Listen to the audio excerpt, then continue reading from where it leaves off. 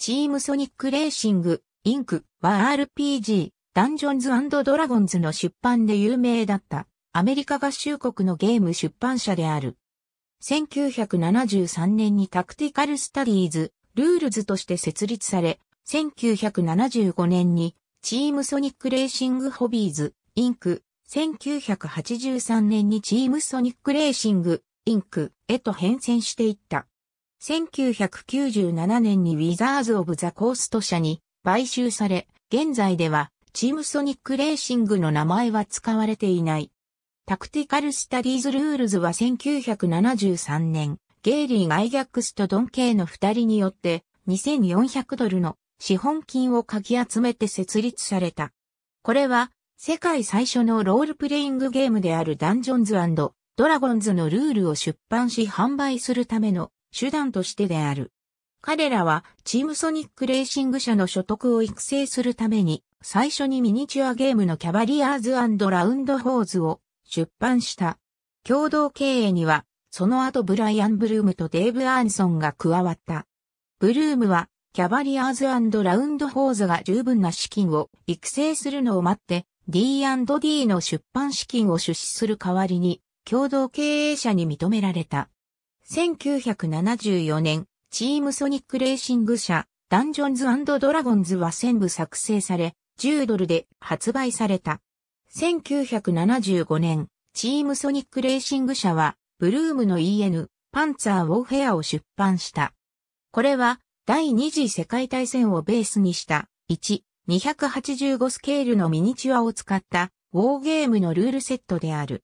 創業時、チームソニックレーシング社は製品を顧客に直接販売し、ゲームショップとホビーストアに卸し、そしてミニチュアフィギュアのメーカーの3つの代理店だけに大量販売した。1975年、チームソニックレーシング社は1つか2つの通常代理店を抜き出した。1976年、チームソニックレーシング社はアメリカのホビー作業組合に加入し、毎年恒例のトレードショーに出展し、そして通常の代理店のネットワークの確立を始めた。ティム・カスクが1975年にチームソニックレーシング社の出版編集者に起用され、彼は会社で最初のフルタイム社員となった。1975年にドン・ケイが心臓発作で死去すると、タクティカル・スタディーズ・ルールズの共同経営は解消された。残った経営者であるブライアン・ブルームとゲイリー・ガイギャックスはチームソニックレーシング・ホビーズ、インクという新会社を設立した。ブルームと彼の父メルビン・ブルームが過半数を所有していた。共同経営会社の旧資産はチームソニックレーシング・ホビーズ、インクに移管された。EN、エンパイア・オブ・ザ・ペタル・スローンがチームソニックレーシング・ホビーズとしての最初のゲーム製品として出版され、グレーホークとブラックムーアが D&D ゲームを拡張する2つのサプリメントとして出版された。また1975年には、ボードゲーム EN、ダンジョンと荒野の西部アーピーグブートヒルが発売された。チームソニックレーシング社は1976年に全コンゲームフェアのホスト役を始め、そして史上初の D&D D オープントーナメントを特色にした。1976年に D&D サプリメントの EN、エルドリッチ・ウィザードリーと EN、ゴッツ、デミゴッツヒーローズが発売され、そしてオリジナルの D&D ベーシックセットが1977年に発売された。また1977年にチームソニックレーシングホビーズはオリジナルのモンスターマニュアルを出版した。これはゲーム会社として初めてハードカバーで出版された本で、その年に発行されたアドバンストダンジョンズドラゴンズゲームをプレイヤーズハンドブックと共にフォローし、以前はトーナメントでのみ使用されていた6つのアドベンチャーモジュールをもフォローした。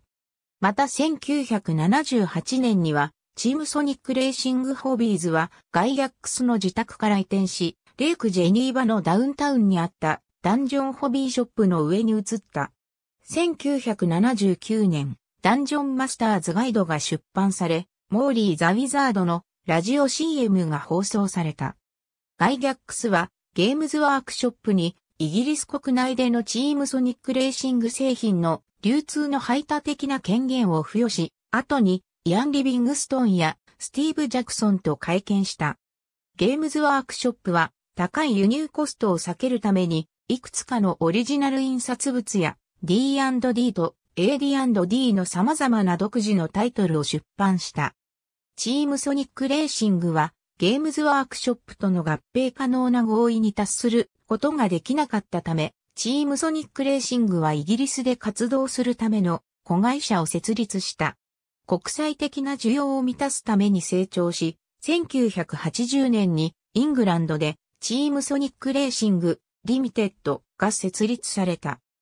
ガイギャックスは事業の筆頭にドンターンブルを雇い、事業は1980年代にヨーロッパ大陸に拡大する。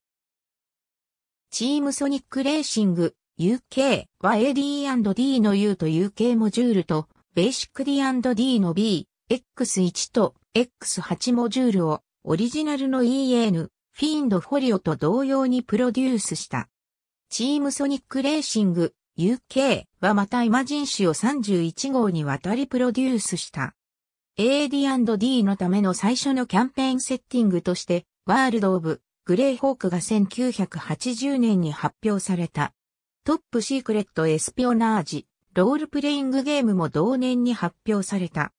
報道によれば、チームソニックレーシングのひな形のノートに書かれていたのは、架空の暗殺計画で、新しいゲームのプレイテストの一環として、チームソニックレーシングのオフィスに FBI がやってきたという。同じ年、ロールプレイングの品質を促進することと全国のゲーマーを統一する目的で、ロールプレイングゲームアソシエーションが設立された。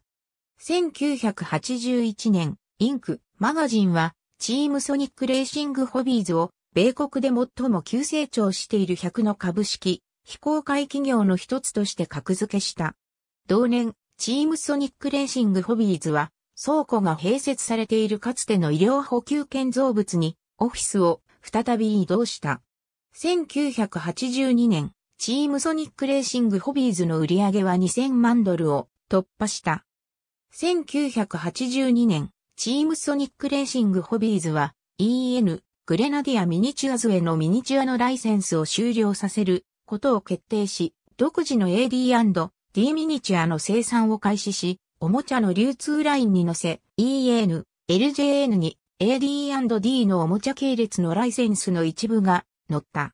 また1982年、チームソニックレーシングは、ギャンバスターズと EN、スターフロンティアーズの2つの新しいロールプレイングゲームを発表した。D&D D ゲームの独占配信は22カ国に設けられ、最初にゲームがフランス語に翻訳され、この他デンマーク語、フィンランド語、ドイツ語、ヘブライ語、イタリア語、日本語、韓国語、ノルウェー語、そしてスウェーデン語を含む多くの国の言語で展開された。1982年、教育部門が言語教育、数学、歴史、そして問題解決のカリキュラムを開発するために設立された。最も成功しているプログラムは EN エンドレスクエスト書籍シリーズである。メルビン・ブルームの株式の所有権は後にケビン・ブルームに移された。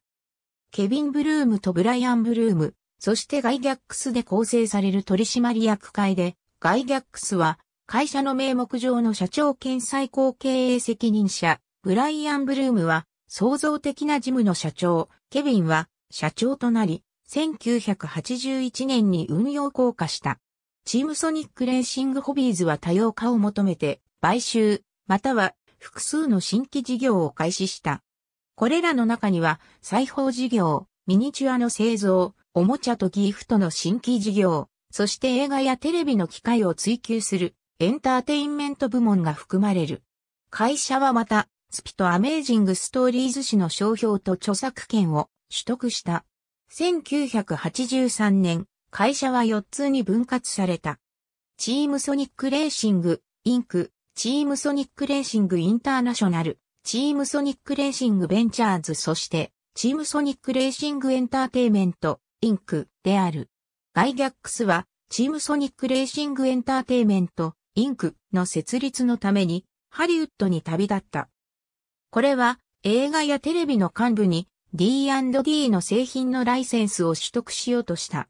彼の仕事は最終的に一つの D&D のアニメーションにつながった。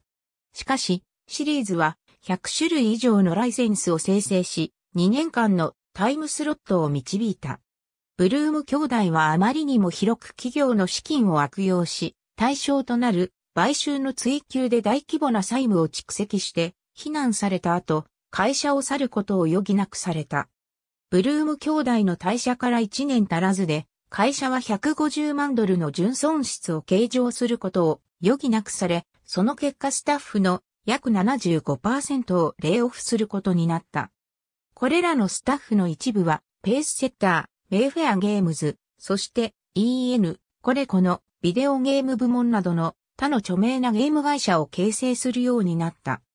チームソニックレーシング、インクは1984年に2年間の開発期間を経て、ドラゴンダンスサーガをリリースし、チームソニックレーシングはアメリカでナンバー1のファンタジーとサイエンスフィクション小説の出版社になった。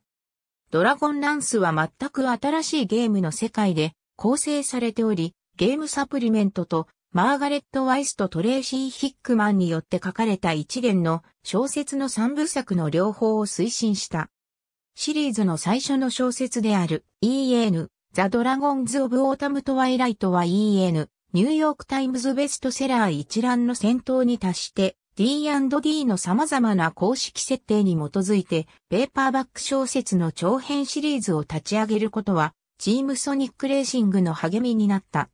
1984年、チームソニックレーシングはマーベルスーパーヒーローズゲーム、アドベンチャーズ・オブ・インディアナ・ジョーンズゲーム、そしてコナンゲームの出版ライセンスにサインした。1985年、ジェンコンは追加のスペースの必要があるため、ウィスコンシン州ミルウォーキーに移動した。AD&D の EN、オリエンタルアドベンチャーズハードカバーが発売され、大きな売り上げになった。チームソニックレーシングは EN、オールマイチルドレンゲームを発表し、ベースになったのは ABC の昼間のドラマで15万部以上を売り上げた。1986年、チームソニックレーシングは D&D のアドベンチャーシナリオだけを集めた隔月間のダンジョンアドベンチャーズ誌を発表した。ガイギャックスはその時点で唯一株式の約30%を所有していて、取締役会は会社に財務の健全性を回復する方法として、ブルーム兄弟を除去することを要求した。その行為を報復とみて、ブルーム兄弟は自分たちの株をローレイン・ウィリアムズに売った。ガイギャックスは販売は違法であることの宣言を試みたが失敗し、彼は自分の残りの持ち株をウィリアムズに売り、それを EN、ニューインフィニティプロダクションズの資本の形成に使用した。ウィリアムズは負債に悩まされている会社を収益性の高いものに変換するための可能性を見たファイナンシャルプランナーだった。しかし、彼女はゲームの領域を軽視し、自分自身がゲーマーとして優れていると見ていた。ウィリアムズは会社の中でゲームをプレイすることを禁じる内部規約を実装した。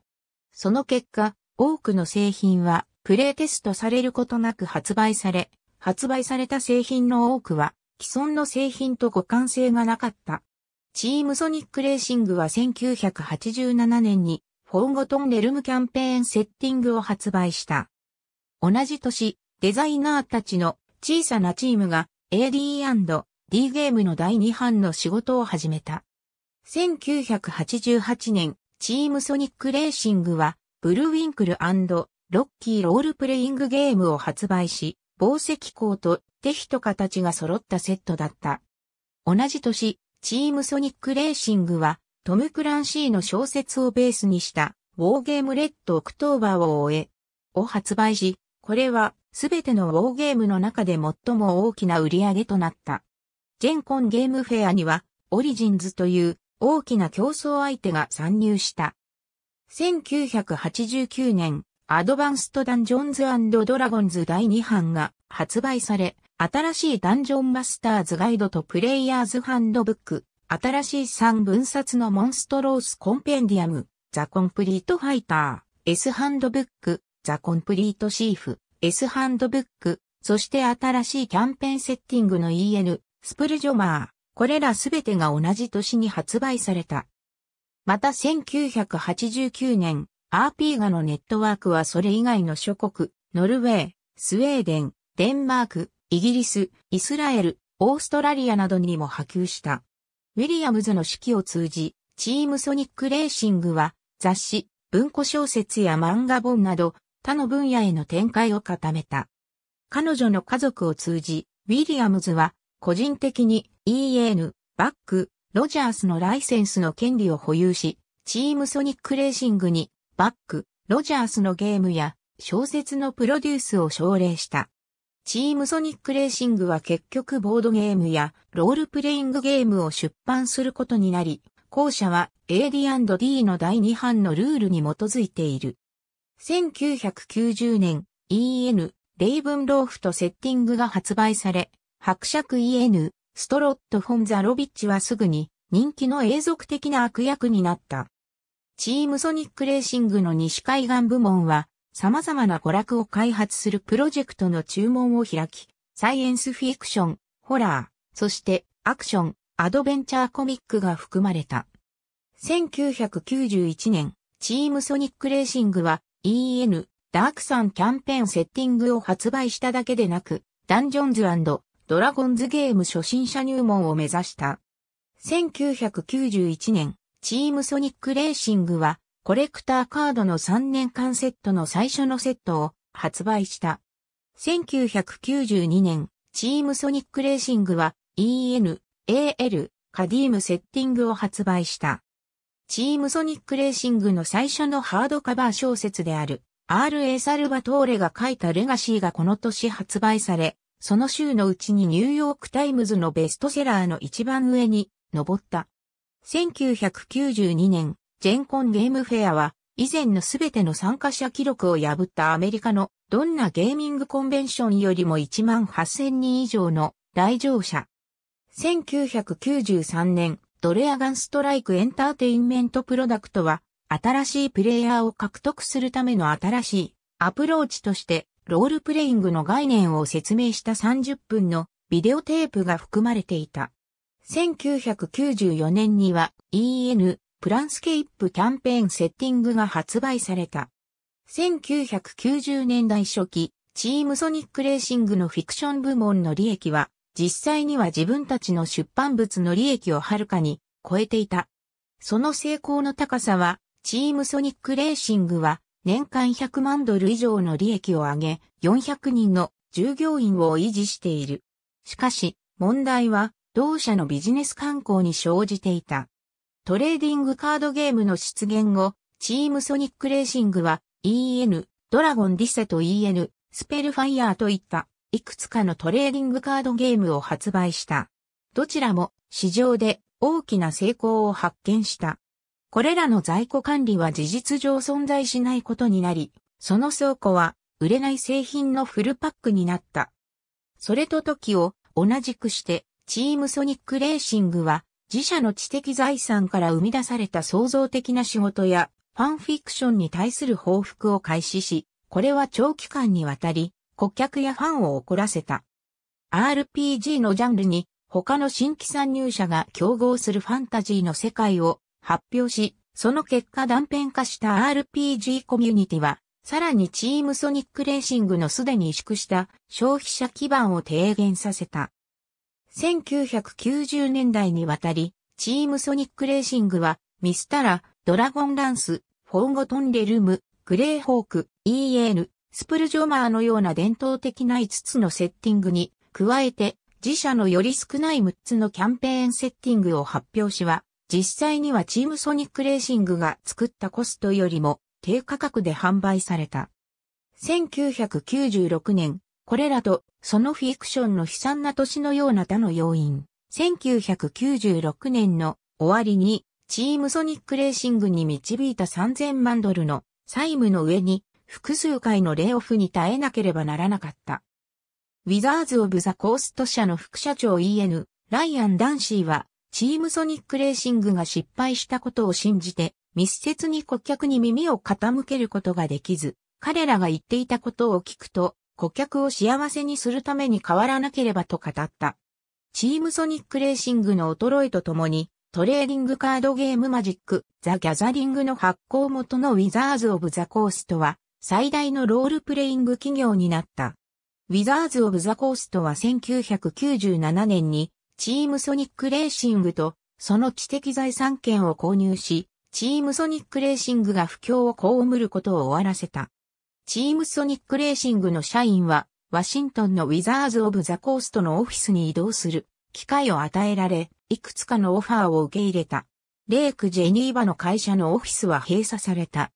今後数年間にわたって会社の様々な部分が他の会社に転売され、1999年の間にウィザーズ・オブ・ザ・コースト社自体がハズブロに買収された。2002年、ジェンコンはピーター・アドキソンのジェンコン LLC に売却された。また、2002年にはチームソニックレーシングが出版していた雑誌はパイゾパブリッシングが出版することとなった。チームソニックレーシングのブランド名は数年間は続いたが、後に消滅した。チームソニックレーシングの商標も有効期限が切れた。チームソニックレーシングの主力製品は、ロールプレイングゲームで、最も成功したのが、ダンジョンズドラゴンズである。しかし、彼らは、カードゲーム、ボードゲーム、ダイスゲームといった他のゲームや、雑誌と書籍も出版した。1990年代、チームソニックレーシングは、漫画本のシリーズを出版し、いずれもロールプレイングゲームをベースにしたものだった。1984年、チームソニックレーシングはゲームをベースにした小説の出版を始めた。D&D のキャンペーンセッティングの小説が最も多く出版され、最も成功したのはドラゴンランスとフォーゴトンレルムの2つの小説がかなりたくさん出版された。チームソニックレーシングは1995年にマーティン・ケイディンの EN バック・ロジャース、A Life in the Future を出版し、これは孤立した架空の産物の EN、バック・ロジャース世界で、チームソニックレーシングの EN、バック・ロジャース XXVC ゲームとは無関係である。チームソニックレーシングは自社のゲーム製品とは連携していない非常に多くのファンタジーやサイエンスフィクション小説を出版し、EN、エルディーン、ジェームズのレッド・キングス・オブ・ウィニミール小説、ソーサラ・エス・ストーンと、キングス・レイヤー、E.N., メアリー・ H・ ヘルベルトの5冊のガブリア小説、そしてまたユーモラスなファンタジーフィクションが含まれた E.N., ロイ・ブ・ヤングのカウント用、小説キャプテンズ・アウトレージアスそして用、エス・リベンジである。しかし、このようなプロジェクトは決して会社のフィクション出力の割合以上にならず、ゲームの派生作品に重点を置いていた。初期の成功が衰退した後、会社は自社の知的財産権とみなされるものの法的防御に転じた。また、いくつかの訴訟は会社とガイギャックスに対して複数の訴訟を含む会社と部門のロイヤリティについてだった。これらのアクションはゲーマーのどん底に達し、会社はインターネットのサイトでゲームの原料を供給する個人を告訴すると脅迫した。1990年代中盤、RPG に関連するメーリングリストやネットニュースでは頻繁にティードル R のニックネームが用いられ、広く顧客を攻撃する会社として認識された。製品の増加や増殖が問題を助けておらず、製品ラインの多くが重なってマイナーな点のように思えたもので、顧客が離れていった。会社はナチを商標登録しようと試みた都市伝説の対象となった。これは EN インディアナ・ジョーンズ RPG のサプリメントで出たフィギュアにナッツォトムの刻印があったことがベースとなっている。この表記はルーカスフィルムのホーム部門が提供する商標文字の名前のリストを遵守している。その後、客中への期限が忘れられ、ゆっくりとチームソニックレーシングが商標を登録しようとする話に変化していった。ことによると、チームソニックレーシングの独自の評価の後半が、商標ナチスの企業としての存在をおそらく支援した。ありがとうございます。